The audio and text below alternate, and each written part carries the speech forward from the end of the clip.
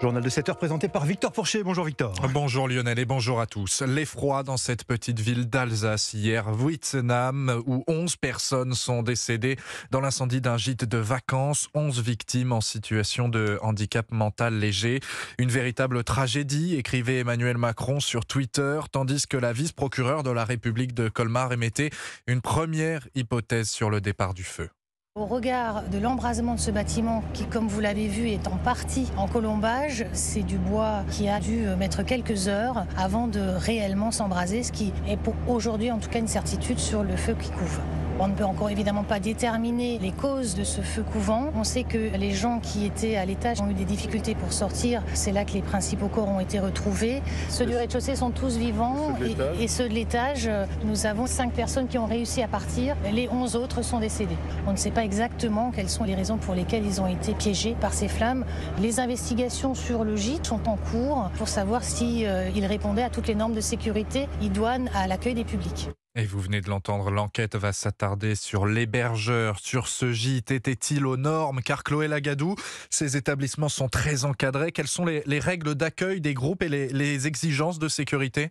Eh bien, pour un groupe de moins de 100 personnes, les résidents sont accueillis dans ce que l'on appelle un établissement recevant du public avec un hébergement de nuit. Et dans ce type d'enceinte, les normes de sécurité incendie sont très strictes. Au moins deux extincteurs de 6 litres, un système d'alarme audible dans tout le bâtiment et un éclairage de sécurité incendie pour indiquer les issues de secours. Dans les pièces à risque comme les cuisines, un détecteur de fumée est obligatoire et les consignes de sécurité doivent être impérativement présentes dans chacune des chambres. Autant de règles à respecter Difficile alors pour les organismes de trouver des lieux accessibles et sécurisés pour leurs adhérents, explique Jean-Louis Garcia, président de l'association pour adultes et jeunes handicapés. Euh, c'est un exercice compliqué, mais il ne faut pas transiger. Ce que nous recherchons, c'est des lieux accessibles. Et ensuite, euh, respecter toutes les contraintes de la réglementation, et en particulier par rapport aux normes incendies, quand nous sommes face un lieu qui ne l'est pas, on va ailleurs pour trouver l'endroit qui va être le plus adapté aux personnes que nous accompagnons. C'est un travail de recherche qui prend du temps et il faut prendre le temps. Le choix d'un établissement sécurisé est primordial pour aider les personnes atteintes d'un handicap mental à réagir vite et potentiellement sans accompagnateur lors d'un incendie. Les explications de Chloé Lagadou pour Europe 1. Il est 7h03. La crise au Niger est ce sommet crucial aujourd'hui pour la CDAO. Hein. Les pays ouest-africains doivent choisir une nouvelle stratégie diplomatique. La menace d'intervention militaire n'a rien donné, alors L'heure est à la relance de cette diplomatie qui, pour l'instant, n'a pas donné de résultat non plus. Les putschistes euh, du coup d'État s'installent, sont inflexibles, Caroline Baudry, et donc l'impasse semble totale. Oui, puisque toutes les options sont dangereuses. Laisser les putschistes gouverner montre qu'on les tolère, ouvre la voie à une contagion aux pays alentours comme le Togo et pourrait reconfigurer la présence occidentale, militaire, politique et économique dans la région. Bref, bouleverser la donne stratégique du Sahel. Mais une intervention armée pour rétablir le président élu Bazoum est bien trop risquée, selon Gabriel Poda, analyste au cabinet de conseil Sahel politique à Genève. Parce que le risque de déflagration serait énorme pour la stabilité des États du Sahel, que cela soit au Niger même ou au Burkina, au Mali ou dans des pays côtiers également. D'autant plus que aujourd'hui les pays doivent engager leurs ressources à la fois économiques, financières et militaires dans la lutte contre le djihadisme. Donc je vois très mal les États engager leurs moyens et leurs ressources justement pour aller faire une intervention militaire au Niger.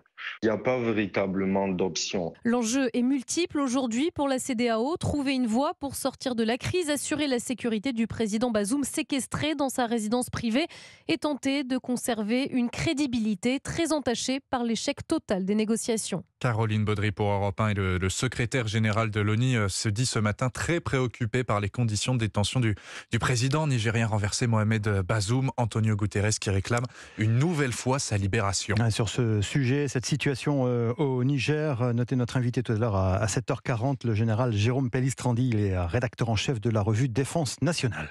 En Équateur, un candidat à l'élection présidentielle, Fernando Villavicencio, a été assassiné par balle à la fin d'un meeting tôt ce matin. Ce centriste de 59 ans était l'un des huit candidats au premier tour de la présidentielle prévue dans dix jours. Il était même deuxième dans la plupart des sondages. Et puis, euh, le ministère russe de la Défense vient d'affirmer avoir euh, abattu 13 drones, dont 11 près de la Crimée et deux qui se dirigeaient vers Moscou. Ce type euh, d'attaque qui se multiplie, la capitale russe déjà visée hier matin. Direction les États-Unis maintenant et ce, véritable feuilleton à Hollywood. Hein, voilà maintenant 100 jours que dure la grève des scénaristes. Oui, soutenu par euh, certains acteurs. On pense à Brad Pitt qui a mis en pause son film en tournage sur la Formule 1. Les auteurs qui réclament des meilleures conditions de travail et des garanties sur l'utilisation future de l'intelligence artificielle qui menace leur métier selon eux. Ce mouvement qui a des conséquences chez nous, en France, au-delà des, programmes qui ne seront pas diffusés tout de suite. Marie Jiquel, la profession demande aussi un meilleur encadrement de l'usage de l'IA. Des centaines de productions retardées côté série Stranger Things ou Emily in Paris, mais aussi des blockbusters comme Avatar 3 décalé d'un an ou Gladiator 2. Des films très attendus aussi par les salles de cinéma françaises et cela pourrait s'enliser selon Radou Mieleanu, cinéaste et vice-président de l'ARP, la Société des auteurs, réalisateurs et producteurs. Il va se prolonger et va contaminer plein de pays dans le monde. La France, bon, nous on se pose la question depuis longtemps. L'Italie, je vois qu'elle se réveille aussi le Portugal s'est réveillé, la Corée, qui est un grand pays de l'audiovisuel et du cinéma, est en train de se réveiller aussi. Une grève américaine soutenue ici en France. La production cinématographique s'inquiète aussi quant à l'utilisation de l'intelligence artificielle. Par exemple, des doublages des voix sont des voix virtuelles. On sait très bien qu'aujourd'hui, on peut reproduire des visages humains et bientôt, ils vont le demander à une autre application, ChatGPT, de nous remplacer au niveau de l'inventivité, sachant que l'IA ne reproduit que du passé. Cette paralysie d'Hollywood devrait aussi bouleverser les tapis rouges des festivals de cinéma cet automne, comme celui du cinéma américain de Deauville. Les acteurs en grève n'ont pas le droit de faire de la promotion. Marie Jiquel, je vous signale aussi la, la fuite massive des abonnés de Disney ⁇ la plateforme de streaming, en a perdu 10 millions au deuxième trimestre. La grève n'aide pas, hein, bien sûr, mhm. mais c'est surtout à cause du marché indien. Le groupe vient de perdre les droits de retransmission du championnat national de cricket, une véritable institution ah bah, c'est plus qu'une institution, c'est une religion, le cricket euh, en Inde, c'est pas difficile. Euh, en France, c'est nos, PME que le gouvernement voudrait faire euh, rayonner à l'international. Pour ça, il compte lancer à la rentrée un plan export. Oui, aujourd'hui, la France compte 148 000 entreprises exportatrices. L'objectif, c'est de passer à 200 000 d'ici à 2030 et il y a encore beaucoup de chemin à faire, Margot Faudéré. Oui, car aujourd'hui, peu de PME ont le réflexe de l'export. D'autres patrons n'ont tout simplement pas les moyens de partir à la conquête des marchés internationaux.